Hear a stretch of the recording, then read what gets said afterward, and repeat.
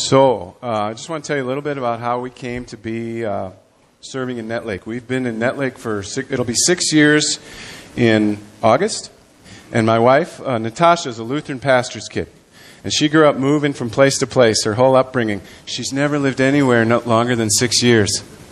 Come August, this will be a first for her, and uh, and we're so blessed to be in Nett Lake.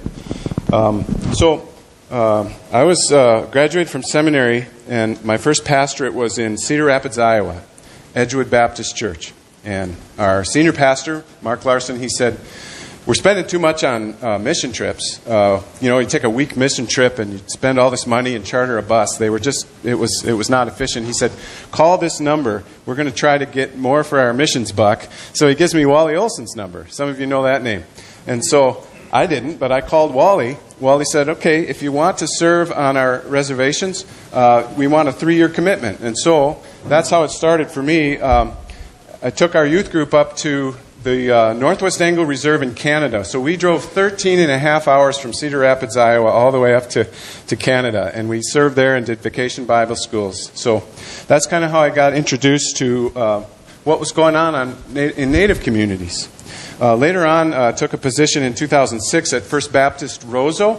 And at First Baptist Roseau, we were close to that same uh, reserve, Northwest Angle Reserve. So I continued to serve there, as well as leading youth mission teams uh, to the Navajo Reservation in Arizona, the Crow Reservation in uh, Montana, and the Sioux Reservation in uh, South Dakota. Have any of you kids ever gone on a short term mission trip?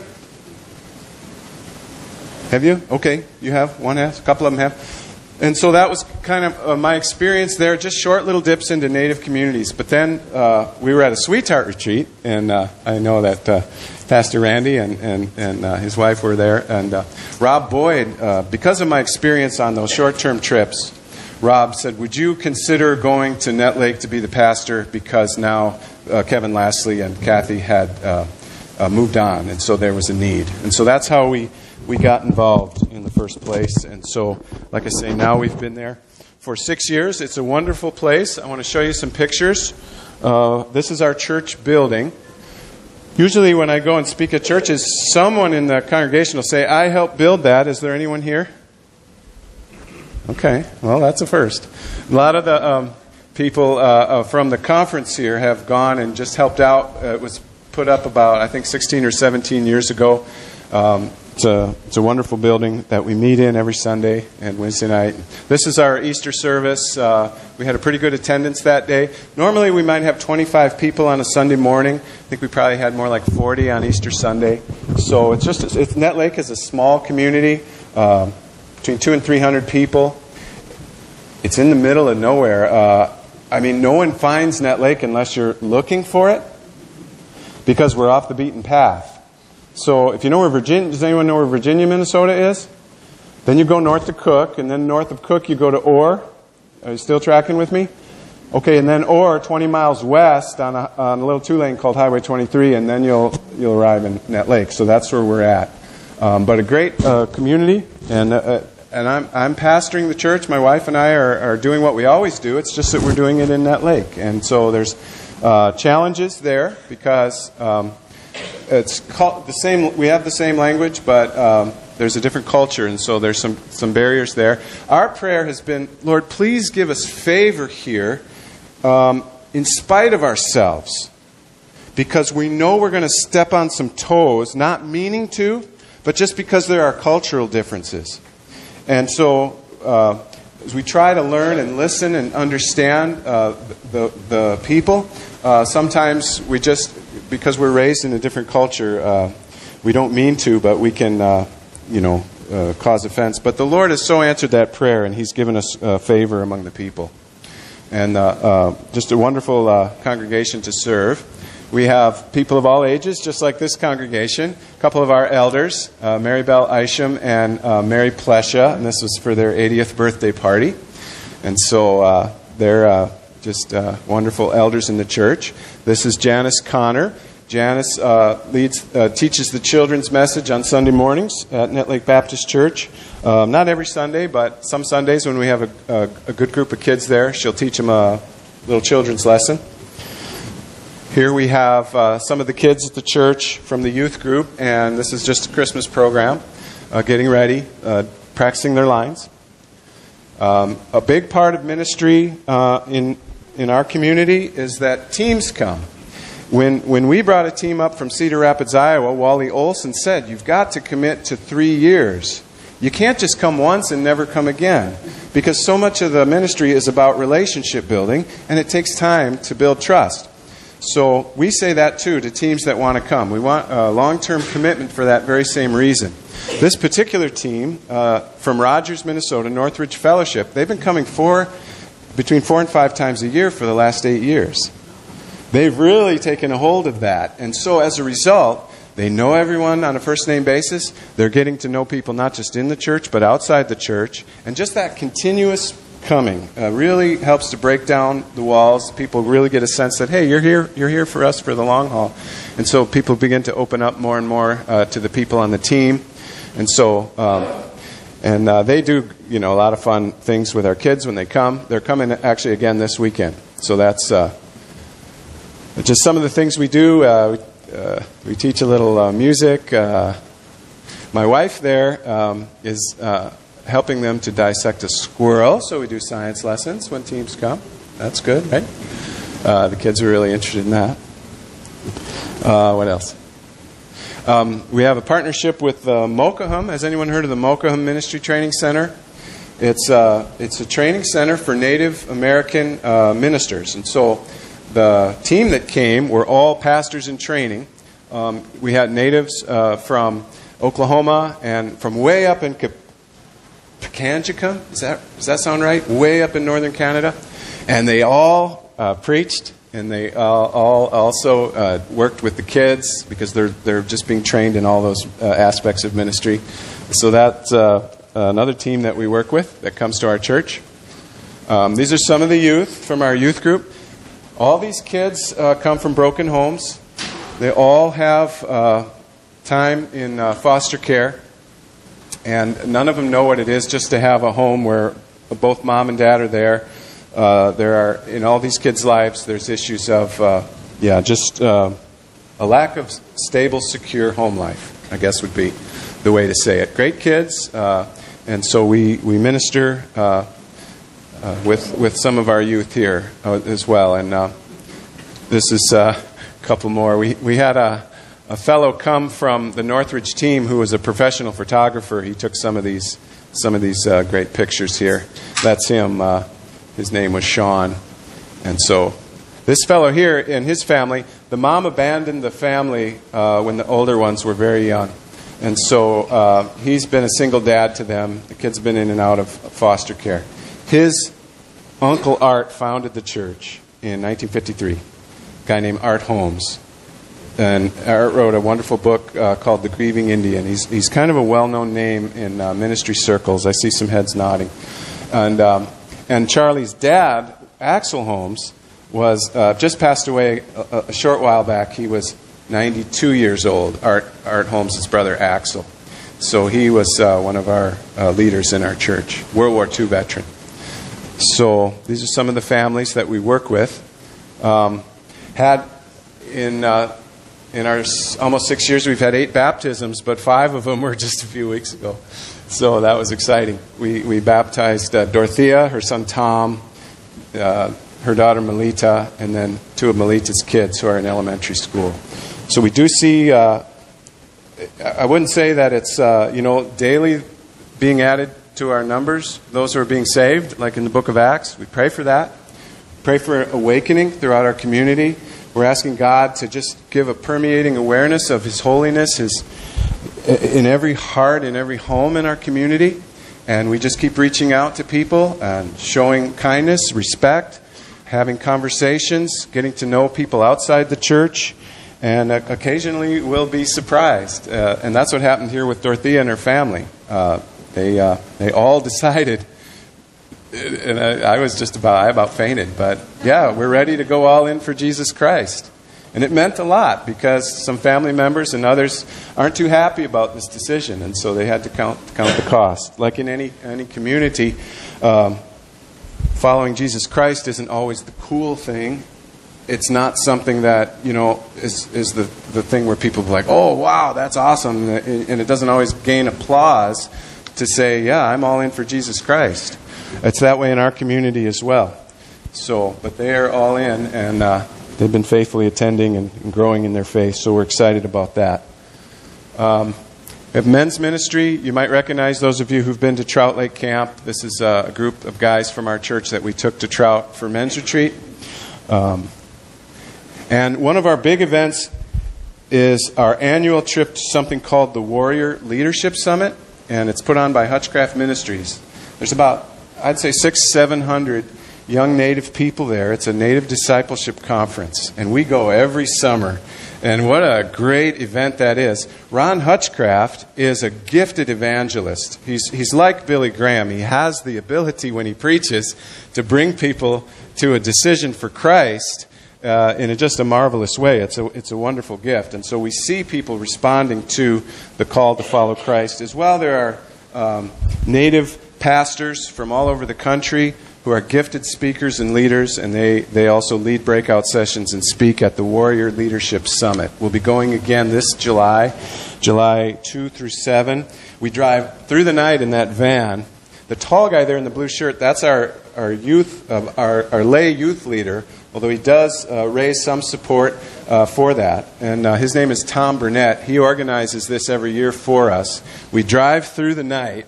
So on July 1st, we'll all gather. There'll probably be 20, between 20 and 30 of us. That's usually what it is. And we drive through the night down, it used to be to southern Missouri. Now it's going to be southern Illinois, close to St. Louis, so it's two hours less of driving. But we get there in the morning, two drivers per vehicle. Everyone else tries their best to sleep. But then once you get there, it's a great discipleship conference for the next five days with uh, wonderful uh, native led worship teams and speakers and uh, breakout sessions. So um, that's a very important part of our church calendar that we do each year. Let's see what else. That's us when we arrive at the conference and we get our t shirts, and uh, that's uh, uh, a group from our area, Nett Lake. And this is all the people at the conference from a couple of years ago. So it's just a powerful event. So as you're thinking about our ministry, and we can't thank you enough for your prayers and just your support and sending us mittens and hats and things. Just be praying uh, for uh, people to have an awareness of their need for Jesus Christ by the work of the Holy Spirit, and, and we are seeing that. Just I know, just as you're praying for your church here, that's that's what we would ask you pray for our church as well, and that more and more people would come to know Christ. Um, an hour away from Nett Lake, every Monday night we have uh, a home Bible study group. It's uh, hosted in Isabel Strong's home. Isabel passed away. Uh, she uh, um, now her daughter Crystal lives there and continues to host this uh, Bible study group there. So that's our, our Monday night fellowship that we have. The Bois Forte Reservation has the village of Nett Lake, but then an hour away is the Lake Vermilion side of the reservation. If you look on the map and the map of Minnesota, you look at the Bois Forte Reservation, it's a square, but not all of that square is, is part of uh, the reservation. Not all of it's owned by the tribe. And then an hour away, there's this other little section that's also part of our reservation. There's a casino over there, and there's a community over there, and it's all connected. Same tribal council and leadership. And so we also minister uh, over there each week. Um, and this is just a picture taken after church one Sunday when a group was up visiting. I think that's all my pictures. So I do have a message I prepared, but before I share that, does anyone have any questions about the work that is happening in Nett Lake?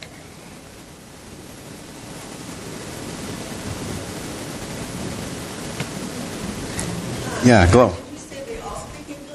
Yeah, and very few speak Ojibwe. And there's a, there's a reason for that, um, and it's a kind of a sad and tragic reason, which is that the official United States government and missionary policy for many decades was to uh, assimilate, and that meant the eradication of culture and language. At the time, I believe it was thought to be this is what's best uh, for everyone because it's time to get on with get with the program because this is this is how things are now and you got to kind of become American. Uh, I, the, the end result is it, it was abuse. It was tragic uh, because to take out the language is to tear the heart out of the people, and so there's only a few fluent speakers. There's a heroic effort to regain the language now. Now uh, everyone can see the, the folly of the way it had been for so long. And so there's great regret there. At, at, the same time, it does make it a challenge to reach out with the gospel because, in many people's minds, Christianity is why we lost our language and culture, which that makes it a challenge. We do, but very few read Ojibwe, and, and very few speak. So at Bemidji State University, I'd say that's like a center of trying to. It's the language is like an endangered species, and there's a there's a heroic effort to save it, but very few people in our reservation speak it. So, is there a public school already there? Yes, there is. Yeah, Nett Lake. It's a K through six. So my son Owen went there um, from third through sixth grade. My older kids, they couldn't. They were in high school, and I was concerned moving there, and we're I mean, I'm 50 years old. I've never lived in a native community. I wondered, are, is my son going to be bullied because he's different? He's, you know, a white kid. But, he, but no, the people have been just wonderful. And he's, he's uh, been very much accepted and, and loved by his peers. So is the um, language trying to be taught in school? Yeah, yeah.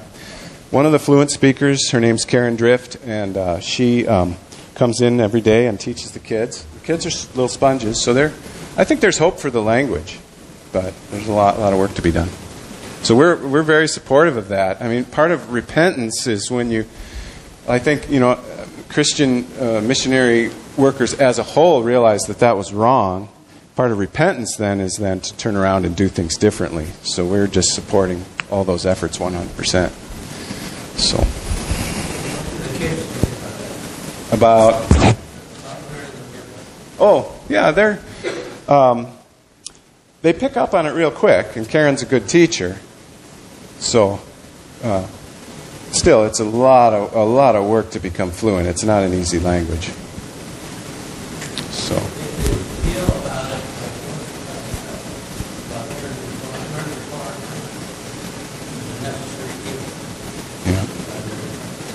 The older people really don't put much effort into it. They're almost like that's not going to happen with them. But by focusing on the real young kids in Head Start and the younger grades, because their brains are little sponges, that's where the hope for the uh, restoration of the language really is. So that's something to be praying for as well. Yeah.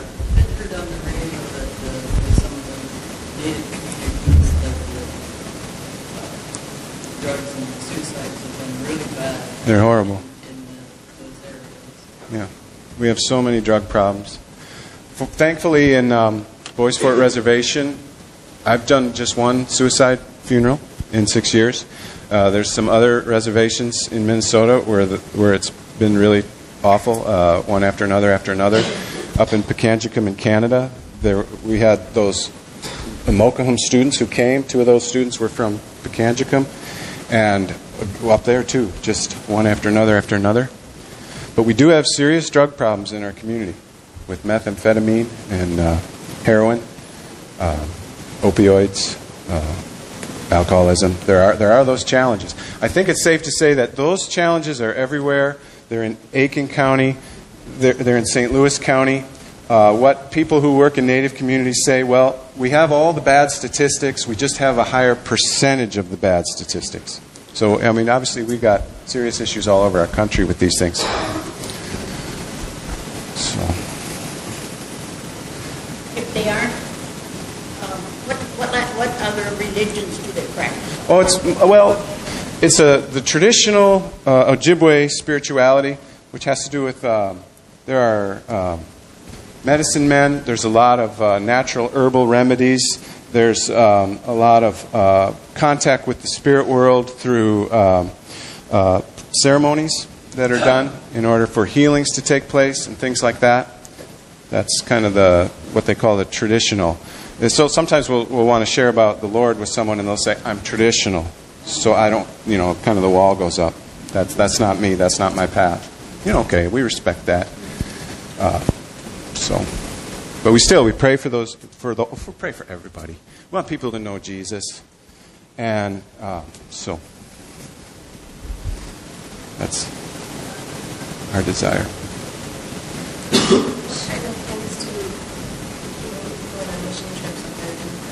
Well, a lot of it is just to have structured activities. Like well, one of my friends who grew up in Nett Lake, and she's part of our church, she said, I grew up in Nett Lake, and there's never anything to do here. So when teams come, there's just structured games, there's crafts, there's uh, fun, you know, there's, uh, the kids really look forward to it. And so just having the, just the structured activities as well as little Bible training, little, little uh, lessons too. Um, meals, food. A lot of times kids will come and they, they haven't eaten well at home. So there's when teams come or anytime we, we try to keep the food flowing at the church because you're not sure if people are eating well at home. So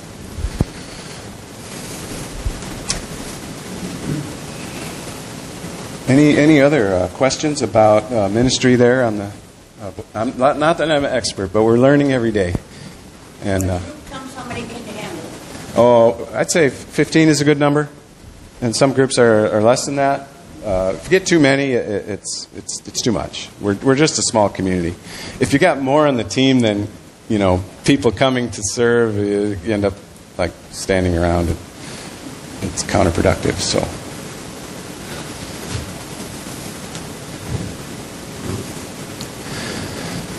So um, thank you all again. I, I, we really uh, do. We covet your prayers. There. Uh, there are good things happening in the, in the ministry, and uh, we hope that uh, we can continue on there and uh, see, see the, the fruit of lives changed, just like your, your church here.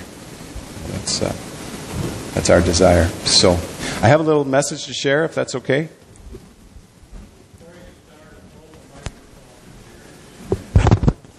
Into my cheek.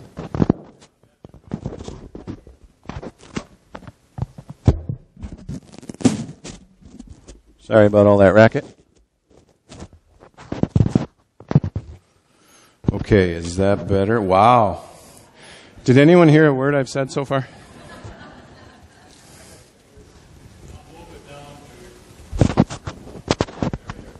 Okay. I hope that doesn't uh, rub against my whiskers like Pastor Chris was saying. All right. Well, I'm just going to say a prayer and then we'll share uh, from God's Word. Thank you, Lord Jesus. And we know that you are you are present here tonight. We are grateful uh, for all that you are, who you are to us, and all that you continuously are doing for us to help us in every challenge. So please help me in the challenge of, of preaching this message. I ask that, uh, Lord, that you'll take this little bit that I've prepared and multiply it to our hearts, that each person can benefit uh, from hearing your word. Um, please apply your word to each of our hearts by your Holy Spirit, we ask. In Jesus' name, amen. Okay, my message is from Genesis chapter 11, verses 1 through 9, and it's about the Tower of Babel. And so as an introduction, um, I was born in Chicago, and my parents are city people, and so my brothers and I, we had the benefit of doing great things in the city. We could take the uh, train down to Wrigley Field, which was my parents' idea of the great outdoors, being city people, is Wrigley Field. And um, we went down to the Loop, and we got to go to museums and just part of who I am as a, as a city kind of a person because of who my parents are. Then at the age of five, we moved to Michigan and lived in a small town of about 40,000. And on weekends, everyone would go camping. My parents didn't know how to go camping. So we'd go into Detroit for a ball game, and that's just, that's who I am. I come, so growing up in Chicago, but Chicago is known in the United States as the second city. Who knows what is known as the first city? New York, right. And so I also had an opportunity at the age of 18 and 19 to live in New York for uh, eight months, and that was uh, a, a, great experience. Uh, got to see wonderful concerts like Simon and Garfunkel. I was I was present for the concert at Central Park, and a lot of great cultural experiences. And I really was just amazed uh, about what, what, what man can accomplish with skyscrapers and, and, and things like that. And that was just, I was very passionate about that as a young man. Well, in Genesis, there's also the first and the second city. The first city in Genesis is actually called Enoch. It's from Genesis chapter 4. And Cain, who is the firstborn of Adam and Eve, after he murders his brother Abel, he goes on to found a city later in life. And the city he names after his son. His son is named Enoch. And this first city was known for culture and art and technology and violence. Now, in those early chapters in Genesis, there's also a second city. And that's the city that we're going to look at. The second city is called Babel. And Babel is the place where God responded to man's unified rebellion by scattering our languages. As a result of what happened at Babel, our ancestors had to separate from those whose speech they couldn't understand and unite with those whose speech they could understand. They were divided by languages, and then they spread out in every direction, populating the whole earth, developing very different cultures over time. And cultures impacts how we raise our children, how families function, how ceremonies are conducted, such as weddings and funerals, and what incredible challenges we face today because of different languages and cultures and religious beliefs. Now, Dr. Stephen Leeson, he writes, it's important to remember that these cultural and language barriers were put in place by God to slow down the rate of human rebellion and to keep human pride in check. Today, we are divided by languages and values and culture. We're often hurtful and hateful toward one another. Our politics are like one big global game of King of the Hill. Do you remember King of the Hill back in kindergarten? But God has a plan, and He is working His plan out in human history.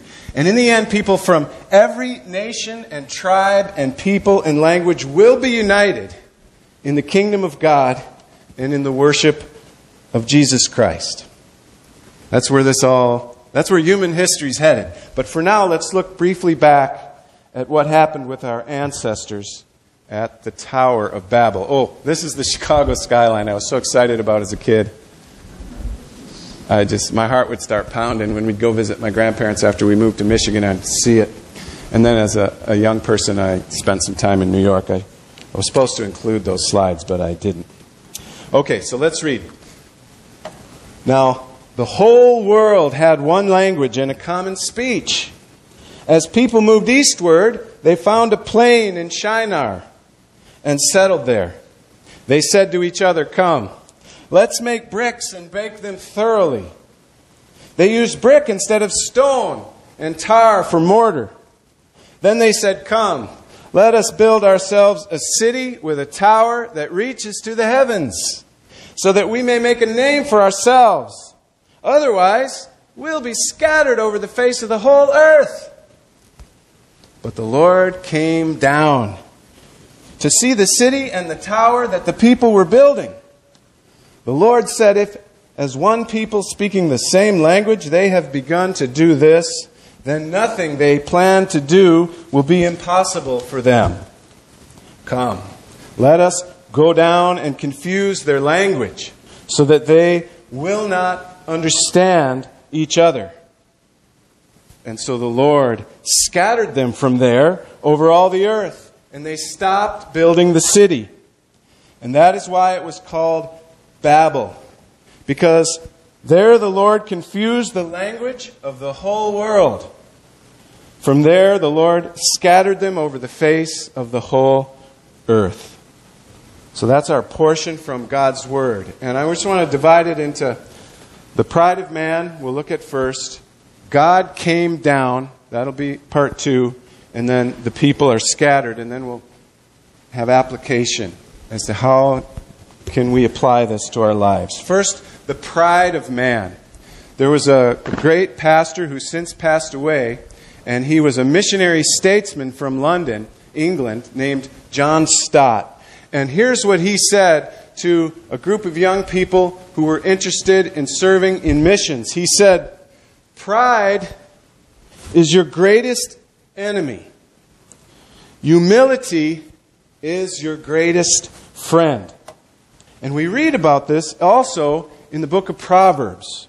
Proverbs chapter 16, verse 18 says, Pride comes before destruction, and an arrogant spirit before a fall. Our ancient ancestors had so much going for them. Why did it have to end in ruin? They could communicate freely, just like we can here tonight. They were immensely talented. They knew how to design and build buildings, and they were unified. These were exciting times. Verse 1 of our section, this is from the New American Standard. Try to imagine this. It says, Now the whole earth used the same language and the same words. If you can imagine. No one would say, I need to learn a second language in my high school for credit because no one knew what a second language even was. Way back in these ancient times. It's difficult for us to imagine. As people moved eastward, they found a plain in Shinar and settled there.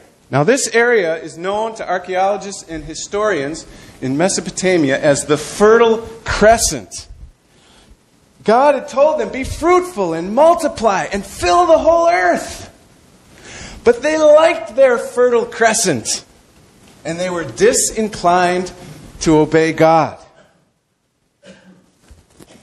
They said to each other, Come, let's make bricks and bake them thoroughly. They used brick instead of stone and tar for mortar. And this was a new technology.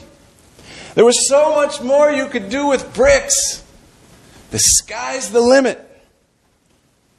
Now, there's, there's nothing wrong with wanting to accomplish amazing things by cooperating with others, utilizing the talents that God has given us.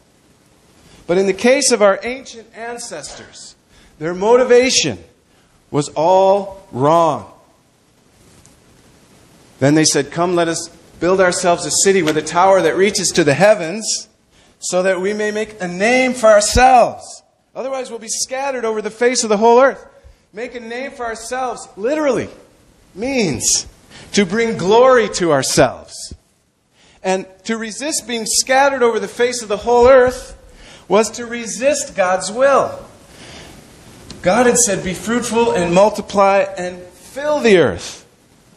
So, with the amazing talents that God had given them, they were building a city and a tower, but they were dedicating it to their own glory and not to God's. And they were also defying God's command to spread out and populate the whole earth like He had told them. So, what did the tower look like? Most Bible scholars believe that the tower looked something like this. And the Tower of Babel may have been the first, but towers like this are found all over the world. In fact, I think I have a slide here. This is in our time zone, but you have to go south. You have to go beyond Texas, and then you have to go all the way through Mexico. But when you get into northern Guatemala, there's this structure. And so um, this is something of what the Tower of Babel looked like. And the people were caught up in the excitement of this tower project because they're sure to become famous. And the tower would be a symbol of their own power and glory. Now, do people still build these kinds of towers? Let's lost my microphone. oh This is in the oh, this is in the United Arab Emirates in the Middle East. I believe this is the tallest building in the world at this moment. It's called the Burj Khalifa, the Khalifa Tower.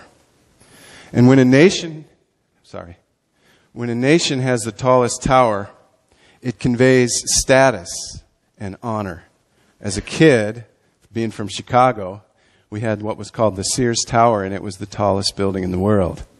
We're very proud of that. Now, in this tower, the last, I'm sorry, too loud now. The last highest 722 feet, or something like that, are completely empty. It's called a vanity spire. Its sole purpose is to be the tallest building in the whole world. There it is at night. And, uh, yeah, it's, wow. I believe that must be a flag of the United Arab Emirates. Apparently, um, there was a leaky roof, so he went up there to. So it's part of a long history of these kind of buildings since the beginning of mankind. Look how it is in the New Living Translation.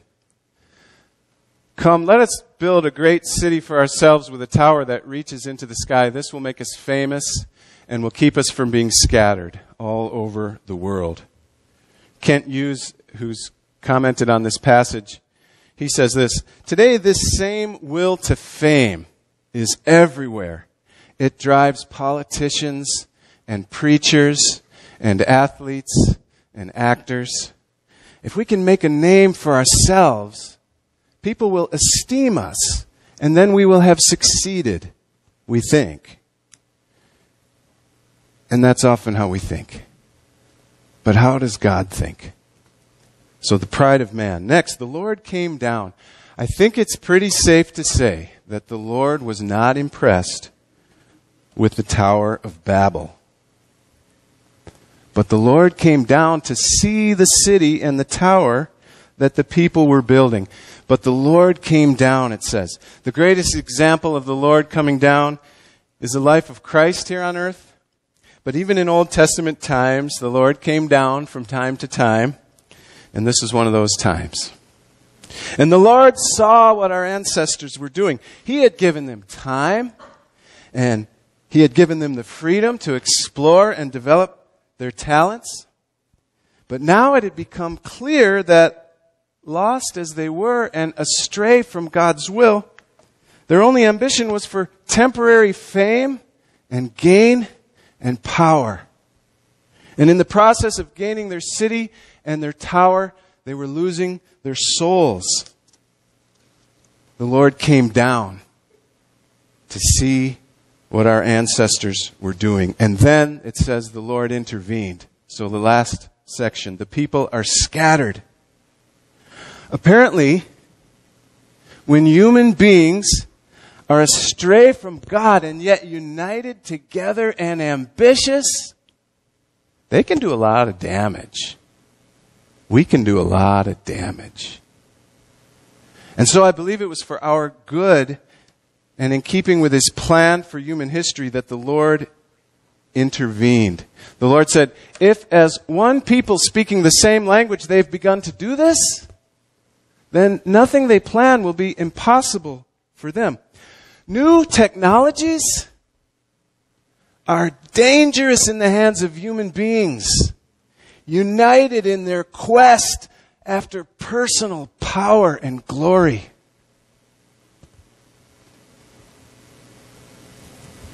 Come, let us go down and confuse their language so that they will not understand each other. Now, how did God do this? The Lord works in mysterious ways. Suddenly, they're working away on their big building, and they're like in a foreign movie without subtitles. Just like that. And that was the end of, the, of their tower project. And so the Lord scattered them from there over all the earth, and they stopped building the city. The very thing that they feared came upon them. They said, Let's build our city and our tower so that we won't be scattered over the face of the whole earth. The very thing they didn't want to happen is what ended up happening, and the very thing they feared is what came upon them. When we forget God, as our ancestors did, and are selfishly ambitious for our own glory, then after a certain amount of time has passed, the very thing we fear will come upon us. They wanted to make a great name for themselves, but the name that they are known to history is confusion. And that is why it was called Babel. Because there the Lord confused the language of the whole world, and from there the Lord scattered them over the face of the whole earth. Now, what can we learn, and how can we apply this to our lives? First, I believe that this is human nature apart from God. That we want to make a name for ourselves. We struggle with selfish ambition for our own personal glory. It's natural for human beings to want to be esteemed. Now, is this all bad? Consider this now from Proverbs. A good name is more desirable than great riches. To be esteemed is better than silver or gold. So it's not wrong to want to be esteemed. And a good name, a good reputation, is more desirable than great riches. We, Christ followers, are just like everyone else. Christ followers want to be esteemed. How can we avoid falling into the sin of our earlier ancestors. The key is humility. Before his downfall, a man's heart is proud. So there they are building the city. And it came to nothing and came to ruin. But humility comes before honor. So, if we want to be esteemed, we have to humble ourselves. God opposes the proud, the scripture says, those who are arrogant but shows favor to the humble. Now, Christians are just like everyone else.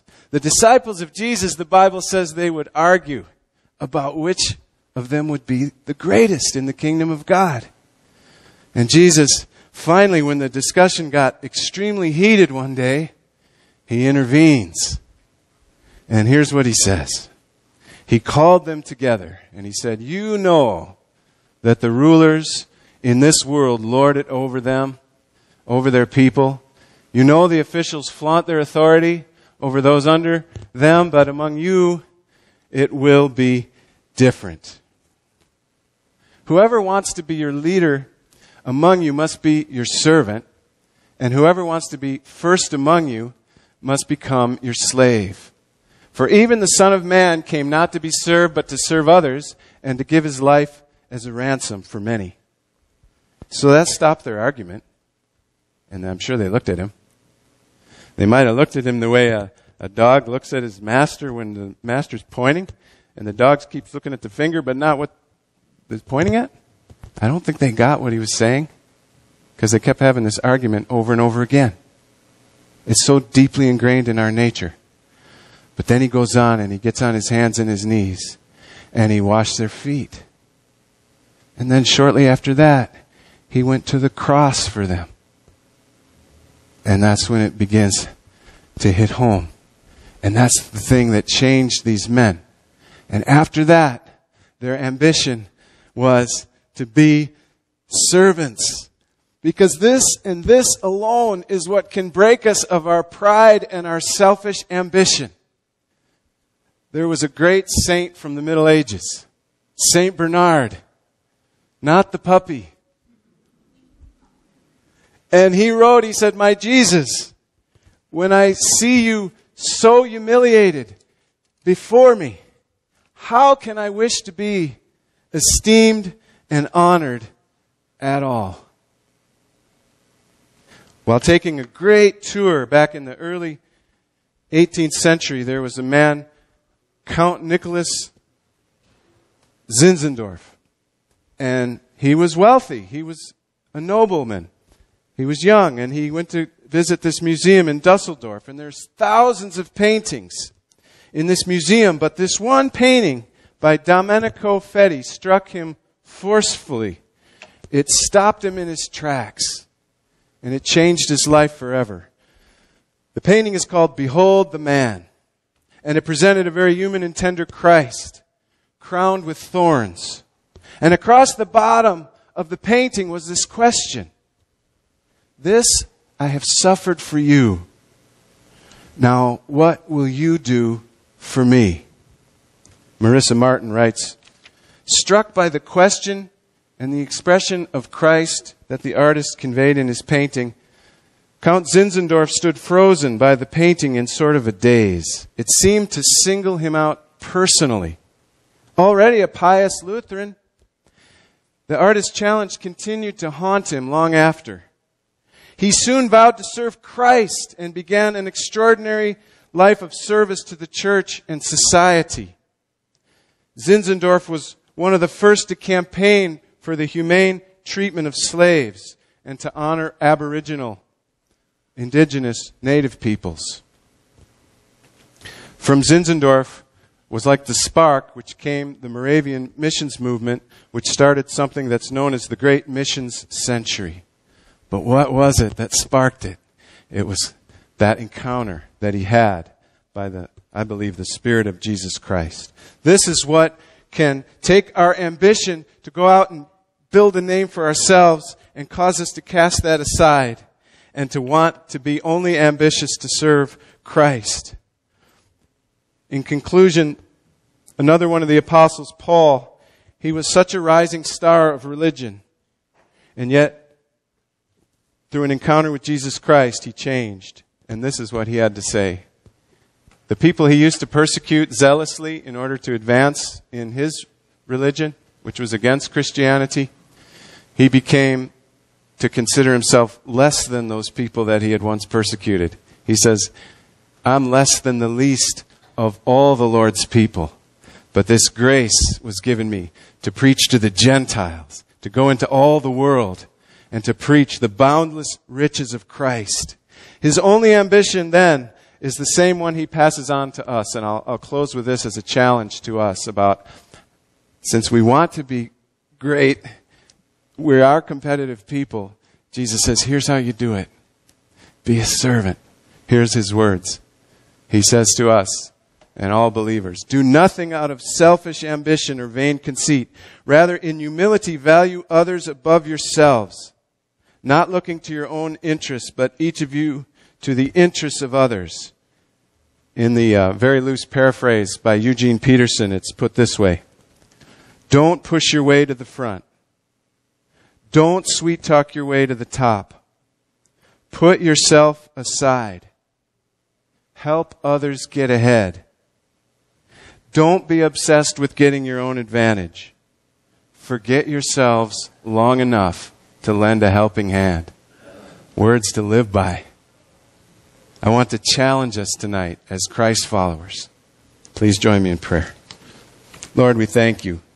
Lord, this is how we are. Lord, we're all about our own stuff until we see Jesus Christ who washes our feet and goes to the cross for us. I pray, Lord, for each here that, Lord, you will reveal yourself in this very same way to us. That we will be all about the esteem of your name and serving you humbly all our days. We ask this in Jesus' name. Amen.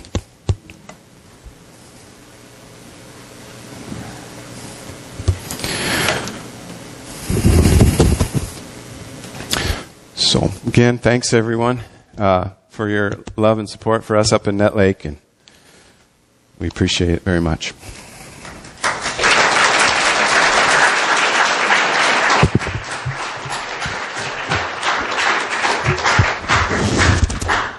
I think, come on, Ruth. That's fine. Purple. There we go. Uh, I think before we let you go, we'll pray for you and your ministry as well. And then I think Kevin will probably be around for a little while as you have uh, so desired. Come up and chat with him and hang out. And uh, you got about a three mile drive. I lived in that house for a little while, so I know where you're going. So you don't have any hurry to get there, other than it's a beautiful view you'll be missing tonight. But, uh, but nonetheless, uh, let's pray for Kevin and Annette Lake and all the work that's going on there, and then uh, we'll call it an evening and get out of here. Father God, we do thank you for Kevin and uh, his wife and family and their dedication and willingness to go where you send. And sometimes, Lord, uh, sending is the other side of the world to far off and distant places, but sometimes, Lord, those far off and distant places are actually in our own backyard. And so, uh, God, we thank you for brave men and women who heed your calling, who are willing to go and, and, and work in difficult places. Uh, the challenges, Lord, uh, can sometimes seem vast, but God, you have sent the right people, and we are thankful that we can partner with them and pray, God, for uh, just a flourishing of their ministry there that uh, you know, for your glory, your, the numbers there would be multiplied, that more and more people would come to know, love, and serve you, would hear the gospel, would hear the truth, would hear your love, that people would know that God loves them. And that through this ministry, Lord, that that would just make a difference in this world and in this eternity. So, God, we thank you again for the words we heard tonight, for the time that we've had together, for the blessing you've poured into our lives. Uh, may we continue to uh, have opportunity to share that blessing with others. Uh, we love you, Lord. We thank you in the beautiful name of Jesus. Amen.